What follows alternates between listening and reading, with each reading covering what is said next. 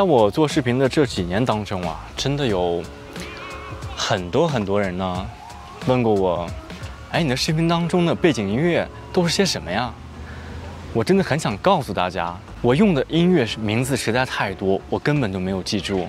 另外呢，每一个视频当中总是有很多不同的音乐，而且我呢是随机挑选的，我也很少会在意那些音乐的名字。可以得出一个结论，就是音乐呢在视频当中，或者说音效加音乐呢在视频当中占的角色的比重呢是非常重的。我之前出过一期视频说，一部好的视频如果没有一个好的音乐去衬托的话，无论你有再好的画面和剧情，也只是成功了一半。也就是说，在我印象当中呢，音乐是非常非常重要的一部分，甚至是超过百分之五十的一个比重。背景音乐呢，在视频创作领域当中，真的非常的重要。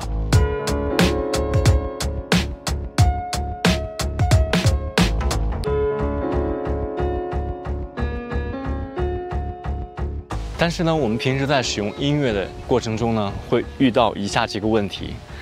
第一个呢。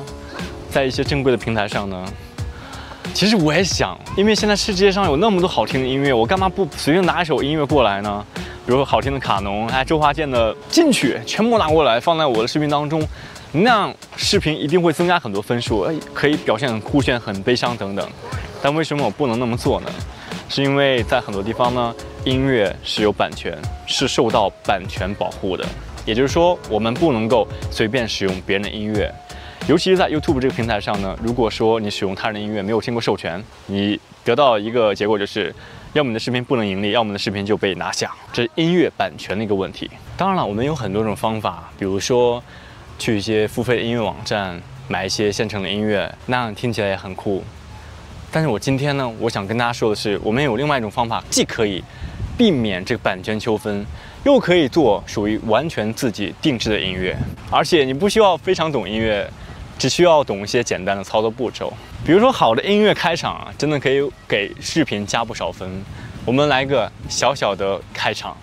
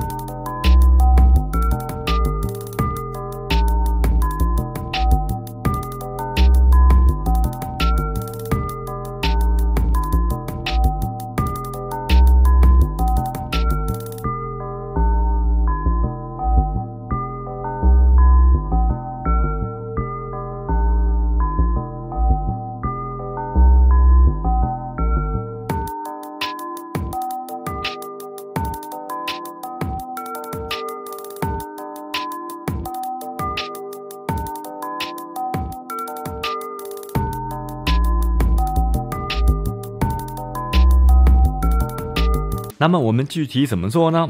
登录屏幕现在显示的这个网站信息，登录上之后呢，就可以看到 Royalty Free Music for Creators，这是一个通过电脑 AI 智能计算的一种创作型的网站，具体的说是创作音乐软件。音乐呢是通过 AI 创作，完全自我定制，所以几乎很难出现完全一样的，而且操作非常的简单，几个步骤：选取、创作、生成音乐，在音乐当中进行自我定制之后呢，再进行管理，比如说下载、存储。如果大家想先试一下的话，非常简单，可以 try for free。当然，如果想买年的话，一个月也就花四块九毛九。接下来给大家演示一下我是如何做音乐的，点击右上角 Create Music。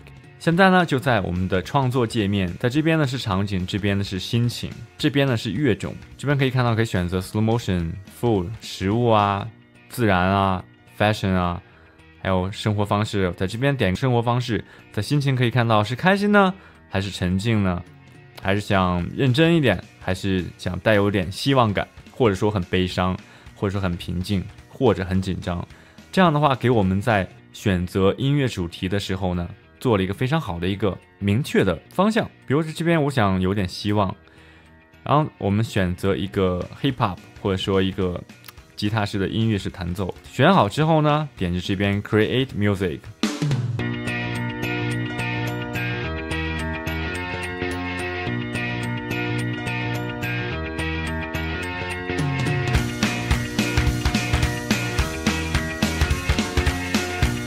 嗯，音乐还算不错。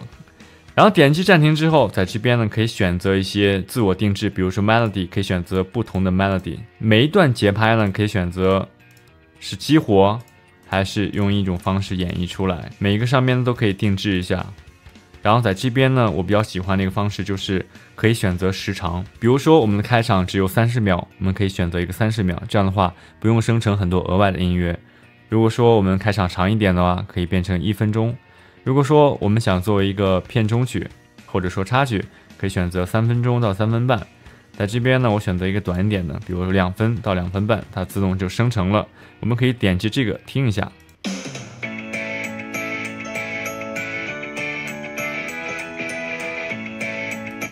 然后如果喜欢的话，点击下载。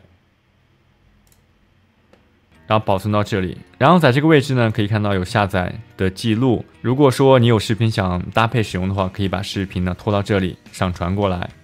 然后这是历史记录，这是我之前做的一些音乐，也就是现在大家看的这部视频当中一些配乐，大概就这么简单。我们继续，在这部视频当中呢，大家听到的所有的背景音乐呢，均是通过刚才的方法制作的。那试想一下。现在呢，大家可以通过这样的工具呢，制作出很多专属于自己的音乐，不会陷入到任何的版权纠纷。你的视频个性是独一无二的，你可以有个好的开场，好的讲述故事的方法，还有好的结尾音乐，片头、片尾、片中。我觉得这是一个非常简单，但是又高效，可以增添视频内容有趣度的一个非常好的方法，就是拥有自己的音乐。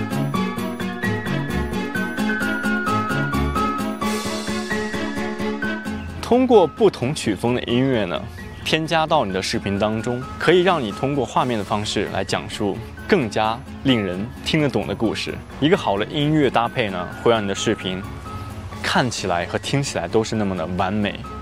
一部好的视频作品，如果没有好的音乐衬托，绝对成功不了。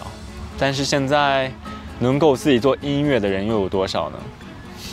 现在这个局面稍微改变了一点点。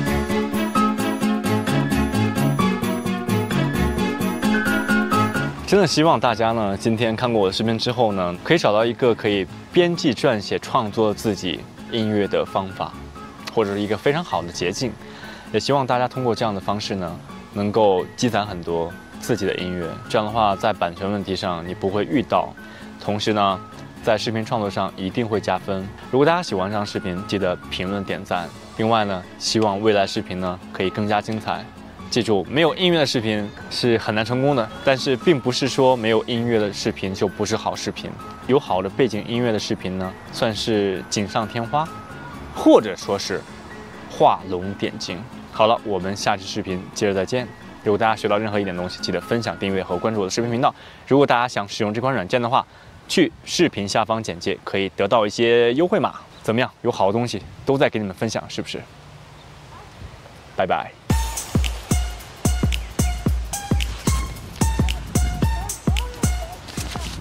来一个荡气回肠的回家音乐。